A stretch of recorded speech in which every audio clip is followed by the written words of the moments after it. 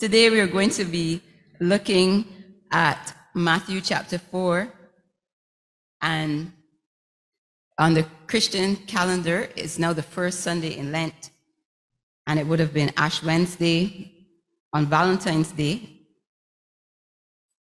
And we are preparing ourselves now for this time where we're getting ready for Easter and every Sunday towards that time of great celebration. So we're looking at Matthew chapter 4, and we will be reading from verse 1 to 11. Matthew chapter 4, verses 1 to 11. Then was Jesus led up of the Spirit into the wilderness to be tempted of the devil. And when he had fasted 40 days and 40 nights, he was afterward a hunger.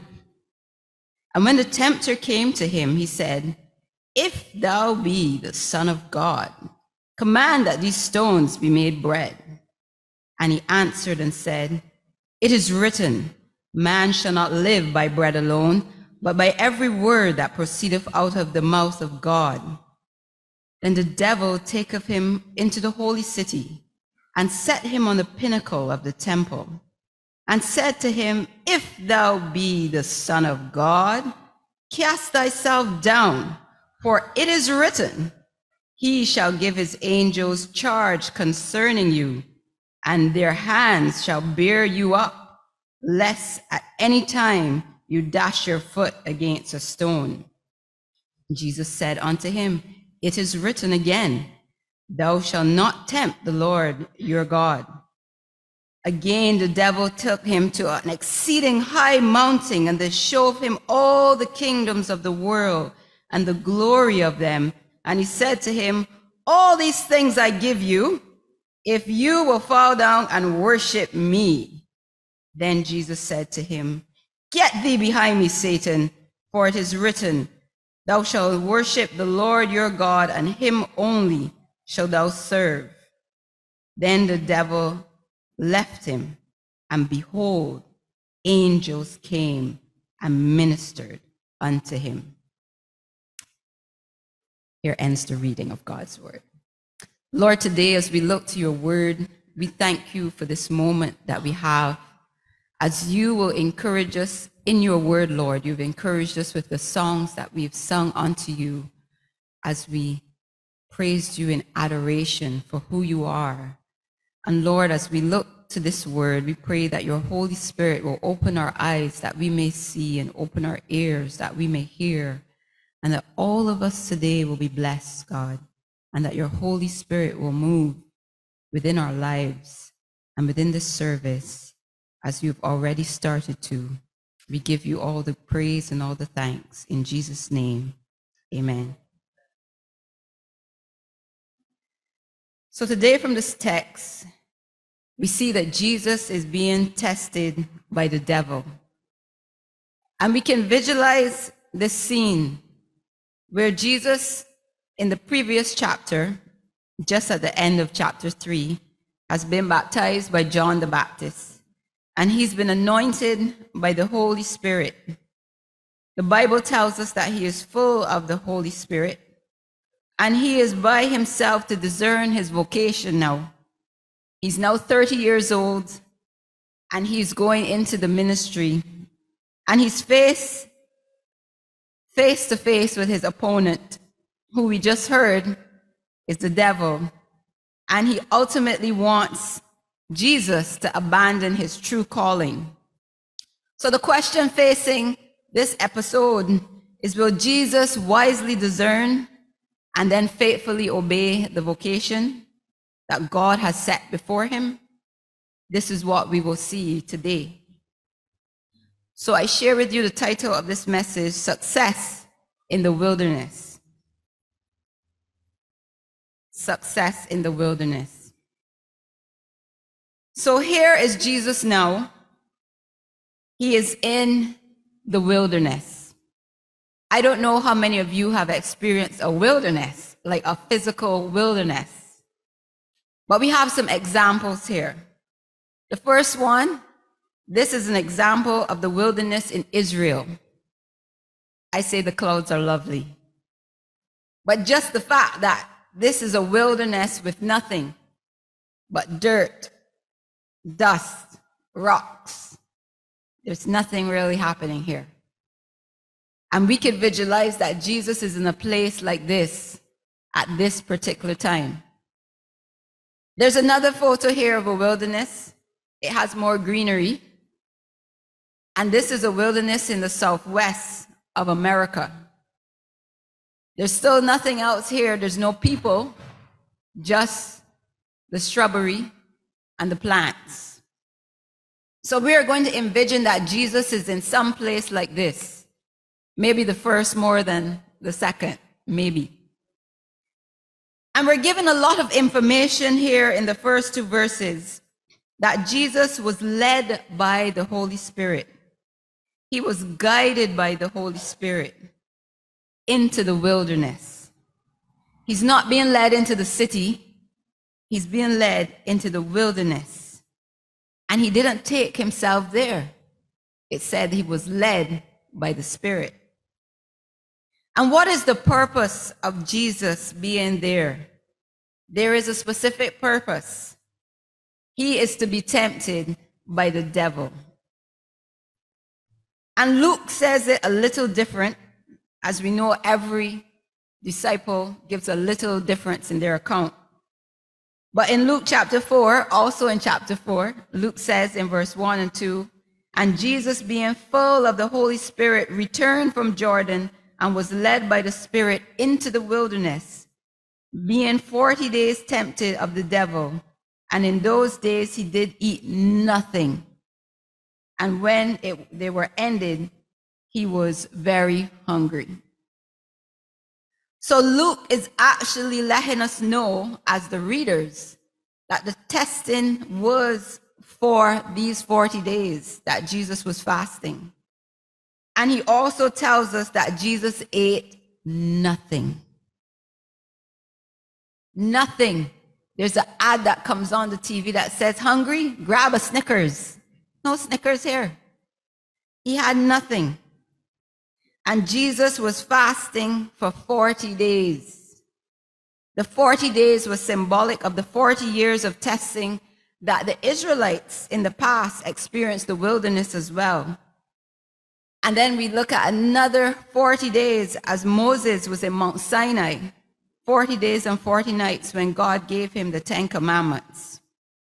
So now we're putting ourselves in the position of Jesus. Imagine how Jesus felt.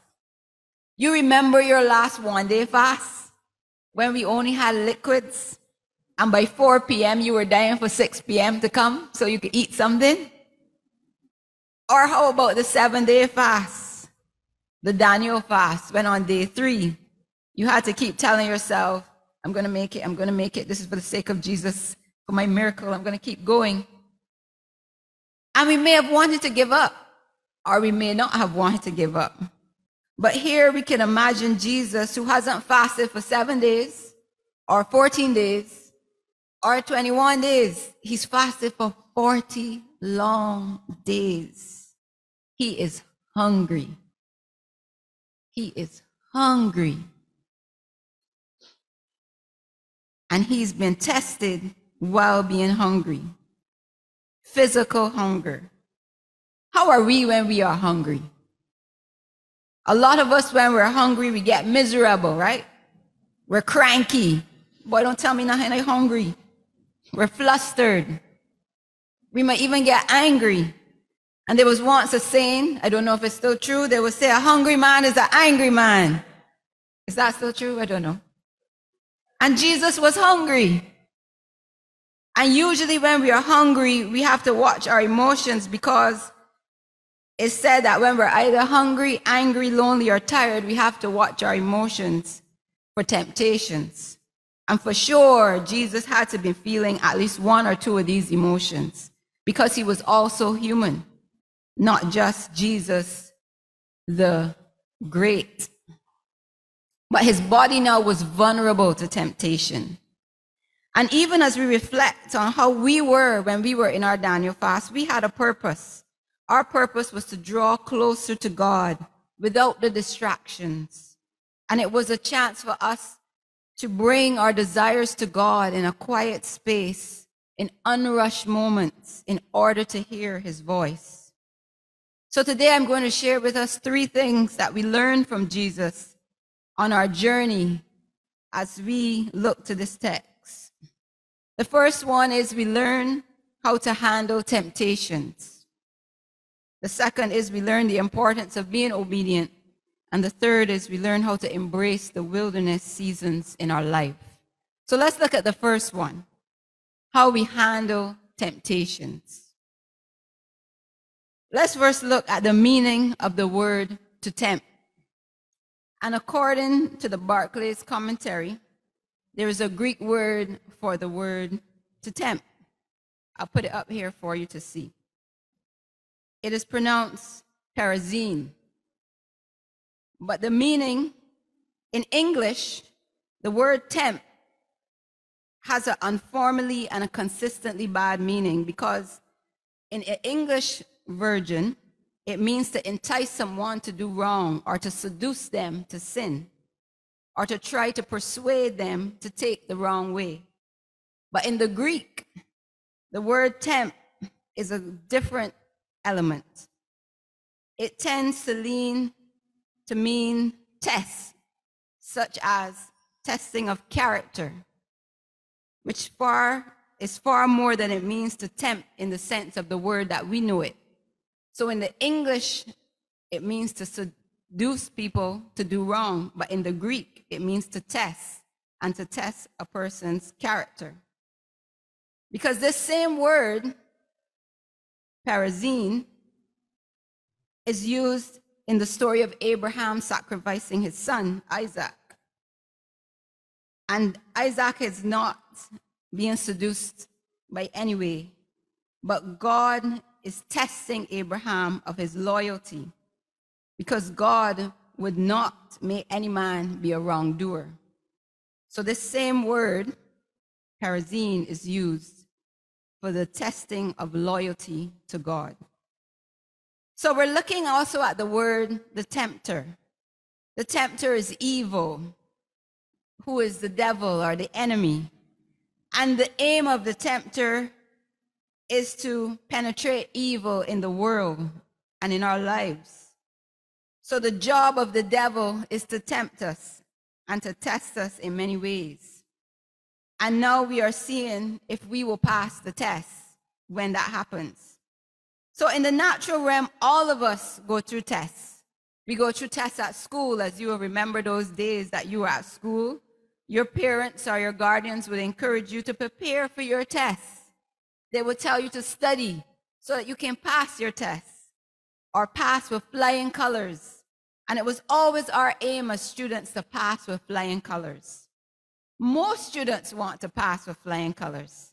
And then somewhere along the line, when you get near UE, maybe if you get there, you just want to pass because the work is so hard. But most of us want to A. And in our situation, spiritually, Jesus shows us how to pass and how to pass with flying colors, how to handle temptations. And Jesus is saying he has empowered us to handle our tests victoriously.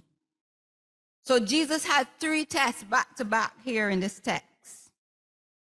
And I know personally that I don't want three back to back tests. I don't know if you would. But let's look at the tests together. The first test he deals with is his fidelity to God, his love, his loyalty to Almighty God. And the devil comes and he says to him, If you really are the Son of God, command that these stones here on this ground be made into bread, if you are the Son of God. And the devil is focusing on Jesus' sonship in this test. He's trying to cast doubt into Jesus' mind. I know I am the Son of God. I was just baptized, and the dove came down, and God said, This is my beloved Son. So I know that I am the Son of God. But this if really means since, since you are the Son of God. And the enemy tends to do the same thing to us sometimes. He tries to get us to doubt the promises of God because he knows that Jesus is hungry.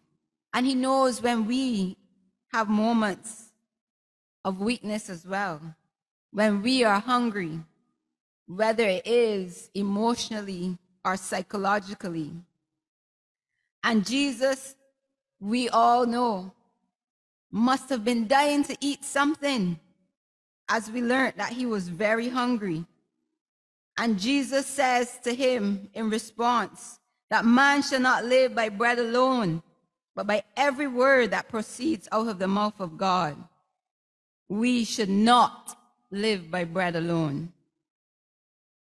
If we take that moment and we think about bread and how awesome it tastes when it is freshly baked, I can imagine, just imagine for a moment, Jesus seeing those stones on the ground with the ability to change them into bread. And he doesn't do it because he's saying, I rather remember that it's God's word that gives sustenance. The word of God is our bread. So the focus of this first test is rather Jesus' reliance upon God's provision, and he refuses to serve his own need because his need would have been, let me get something to eat now. He could have been satisfied with his own need at that time, but he chose not to. He chose to trust in God's gracious provision and remain faithful to God. And when we look at this in the spiritual sense, we know what bread does. It fills us up. You know, when we go to the restaurant, before we actually get the meal we're going to order, they bring us bread, right? And water. But they bring us a lot of bread, so much so that by the time we get our main course, we say to our friends or whoever we go to eat with, man, I can't get this food, no eat. The bread fill me up. Because that's what bread does. It fills us up. And Jesus wants us to see that when we consume the word of God, we are guaranteed to be filled as well. Because God's word, when we chew on his word, we are filled with more of him. The psalmist says that God's words are sweeter than honey and they're better than gold. Isn't that a nice example? Like we can't even fathom that God's word could really be better than gold and gold costs so much money in, in the store. And honey is such a sweet element to have. So this is what the word of God is being shown to us as an example. Let's look at the second test. The second test is in verse 5 to 7 the devil takes him to the pinnacle of the temple. So there's a temple and he takes him to the top of it. And the devil is also using scripture this time. He wants to entice Jesus with scripture. So now he is saying, It is written that if you it is written that he will give his angels charge over you. He is now using the word of God because he wants to show that the devil himself knows the word of God. The devil uses the words from Psalms 91, verse 11 to 12, where the scripture promises that God will protect those he loves and those who put their trust in him. But what would have happened if the Son of God threw himself off the pinnacle of the temple just to see what would happen. This would have been a drastic rescue by the angels. But Jesus responds again by refusing to put God to the test. He says it. He says, You shall not tempt the Lord your God. It is written again, You shall not tempt the Lord your God. Jesus responds by refusing to put God to the test. And Jesus succeeds where in the past Israel would have failed. And he says, You are not to put God to the test. We quickly look at the third one, where the devil now takes him to the highest mountain in verse 9. Verse 8 and verse 9, he tells him to fall down and worship me. The devil offers Jesus political authority over all the nations and the honor that goes with it. Can you imagine this? The devil is claiming that he has authority. He's claiming that he has the authority that has been handed to him and he has the power to do whatever. But this is a lie. Because the devil is what? He is the father of lies. And this same verb that is used here is used in Deuteronomy chapter 7, which refers to God's promise to give. And he gives the nations to Israel as they prepare to enter the land. But here the devil is offering a promise that really isn't his. He's given a false promise. The source of genuine authority in the world is not for the devil, it's for God. And Jesus responds. His response is from Deuteronomy chapter 6. He says, You shall not bow down to the Lord your God, and you will worship him only.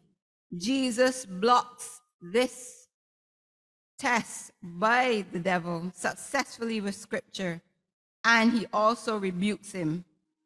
And we can sometimes fall into that trap of accepting the lies of the devil. Sometimes he comes and he tells us lies about people, and he tells us lies about things. And we need to do the same thing that Jesus did. We need to rebuke him in Jesus' name. And we learn from Jesus here that as the devil is asking him to bow before him and worship him, that Jesus shows us that true worship must be only given to God and God alone, especially during times of temptation. So we should refrain from idols, whether material things or otherwise. God must be the only one that is worshiped. So Jesus shows us here that there is power in scripture to turn away temptation because every single temptation, Jesus responds, It is written. Those three times he powerfully combated the, em- the enemy. And he shows us the importance of memorizing scripture and meditating on scripture. Even the psalmist David said in Psalms 119, verse 11, Thy word have I hid in my heart that I might not sin against you. He hid it in there. You know how it is when you hide something from somebody, you don't want anybody to get to it. You hide money or you hide your jewelry. You hide it because you don't want them to get to it. So we're hiding the word inside our hearts so that we would not sin against the Lord. Jesus is also teaching us how we should use our sword. This is our sword. This is our sword. You ever remember watching a movie where people are learning to use a sword?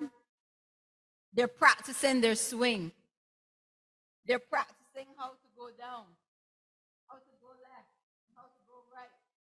They're practicing their stand. They're practicing different ways that they should use their sword in that stand. And they're practicing their sword swing because the main goal is for them to get good so that when the enemy comes for battle, they can beat them and they can win. So it's the same with us. We have to be able to confidently declare the word of God when we meditate on it, when we learn to use our sword. What good is a sword if you don't learn to master it? What good is the sword that someone is standing in front of you also with a sword and they cut you up. So you take time to practice using your sword, how to go in and how to go out. That's what we need to do. So we need to take one or two verses a week and say, I will master my sword so that when the enemy comes, we can overcome him from the tests that he brings. First Corinthians chapter 10 verse 13 says there's no temptation that has come except that is coming to man that God is faithful. He will not let us, he will not let you, he will not let me be tempted above beyond what we can bear. But when you are tempted, listen to this. He will also make a way out so that you can endure it. He'll make a way out and escape this, brothers and sisters, is a promise. It is a promise of protection and it is a promise of provision. God is providing an escape in the tests that we go through every day and every week, which means that you don't really need to ask God for two minutes to cuss off the body that just upset you. You don't have to indulge in that sin that you struggle with. All we need to do is ask God to show us the escape for that moment so that we can use it. We say, Lord, show me the escape for this situation today, and please help me to use it. I know that when we were in school, if anybody said anything to us or did anything to us or they cuffed us, they would say, Cuff it back, man, cuff back. You can take that, you soft, man. Or you have the other voice saying, No, Joy, that body ain't worth it. Let me keep moving. Don't stoop to them level. Let me keep moving. And that, brothers and sisters, is the escape. That is the escape. Keep moving. Don't stoop to the level of the other person. Keep moving. They're not worth it. And your Christianity is not worth it. The Holy Spirit is there for us. That we can say, Holy Spirit, help me now. Empower me afresh. That I will make the right moves. That I will say the right things even now. And there's more good news. The more good news is that the Spirit helps us in our times of infirmities. When we don't know what to pray, the Spirit makes intercession for us with groanings, ugh, groanings that cannot be uttered. And the Spirit makes intercession for us. That's good news. He makes intercession for the saints according to God's will. Brothers and sisters, God, Jesus wants us to win. So he also uses scripture as a shield. Jesus has the scripture now as a shield. He's using the sword and the shield to block and to swipe the things that the enemy brings to us. That's how we need to use the word of God. The second thing is the importance of being obedient. In all the tests, Jesus could or he could he could have yielded. Remember, Luke said that he was full of the Holy Spirit. He had just come from being baptized, but he was obedient to the direction of the Spirit. He followed. And when I thought about this, of Jesus following the Spirit, I thought about when we were small and we would go and play games, and our friends would say, Come, man, come, come with me, come. And you follow them. You're excited to follow and to play. And here is Jesus excitedly, probably, following the Holy Spirit because he wants to follow God's will for his life. And we must ask God to give us a heart to follow the Holy Spirit. It is not always easy, but it is worth it. We must ask God for the heart to follow the Holy Spirit so that when the tests and the difficulties come and we don't know what to do, we will rely fully on Him. One Christian theologian, Charles Stanley, said in a devotion God's goal is to develop our endurance and our faith so that when He does so by creating situations where we have no choice but to turn to Him.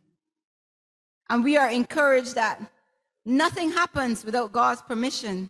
I know that's not always nice to know, but when we think about it, God is giving us tests to test our loyalty. So the question is will we remain faithful to God or will we cave in and follow our own lusts and our ways? We must decide to be obedient and faithful to God instead of diverting to our own selfish ways. It's up to us too. Satan's aim is to hinder us and our church from following Jesus and from being obedient. But, brothers and sisters, once again, God's desire is for us to win. So, the third thing that Jesus teaches us in this text is to embrace the wilderness season. When I first thought about this, I said it can't be easy at all. When we look at the pictures of the wilderness, the wilderness is lonely. It is a place that tends to be dry and barren And if it's green and it has plant life, it's still lonely. But the purpose of the wilderness for us as Christians is to humble us. We all need more humility. And Jesus went to the wilderness to be alone. His task had come to him. He was going to be prepared for the next thing. God had just brought him from being baptized, and now he was preparing him for his ministry. And he shows us the importance of making time to be alone with God, alone for direction, alone for upliftment, alone to be empowered for the tasks ahead of us. 40 days in the wilderness. It's almost six weeks. That's not easy. Sit and think about that. Imagine if any of us could handle 40 days alone without TV, no radio, no YouTube, no Netflix, no cell phone, no fast food, no laptop, no computer, no tablet, no family, no friends. Just alone. We would go crazy. I admit I would. I think I would go crazy. Um, but we all need to spend time alone in solitude. It may not be 40 days, but like on Saturday mornings, we could wake up early for solitude, or Friday night, or early mornings at the end of the day. You choose. But solitude should be included in our Christian walk as a spiritual practice to embody the presence of God on a personal level. In the wilderness is where we should worship God and ask Him for the heart to sing in the midst of our circumstances while He is preparing us for that special place. In that quiet time, He's preparing us. And Jesus was being prepared for His ministry, and so are we. The wilderness cultivates us and it has benefits of living out our faith. Our souls need constant cultivating. And sometimes in the wilderness of our lives, even though it is dry, sometimes we can have those moments that are filled with sorrow and grief and tears. But we can be reassured that God is with us because he promised never to leave us nor forsake us. God ministered to David in the wilderness. That's how he wrote half of these Psalms in this Bible. God ministered to Moses in the wilderness when he encountered the burning bush that wasn't consumed. And God ministered to the Israelites in the wilderness as he provided manna with a cloud by, by day and a pillar of fire by night. In the wilderness, God is our provider. God is our sustainer. God is our protector in the wilderness. And at the end of the test, you will notice in verse 11, it said that the devil left him. Jesus rebuked him and said, Get thee behind me, Satan. And the devil left him. And behold, the angels came and ministered unto him. We should be willing to open ourselves to the Holy Spirit while in our wilderness and be like Jesus, allowing angels to minister to our heart. So I say to us today, brothers and sisters, we have a lot to learn from these tests of Jesus today that we can be successful. But if you are here today and you aren't saved, you know what? You have no defense against the temptations in life. You are alone with temptations. But if you accept Jesus today, you will have a defense and protection from Almighty God through the power of the Holy Spirit. And that's our, our encouragement to you today to accept Jesus, to have this defense and this protection that can only be obtained through Jesus Christ. And as followers of Jesus Christ, once you follow Jesus, you have the defense in the midst of temptations. We have his word and we have his Holy Spirit inside of us. The unsaved doesn't have the Holy Spirit, you know, but we have that extra superpower. And the Lord, brothers and sisters, once again, he wants us to win. So let us resolve to get into God's word, to know the voice of God, in order to overcome the temptations and the tests, as God's ultimate goal is for us to grow stronger in Him, to rely on His Holy Spirit, and to win the tests that we face. In Jesus' name, amen.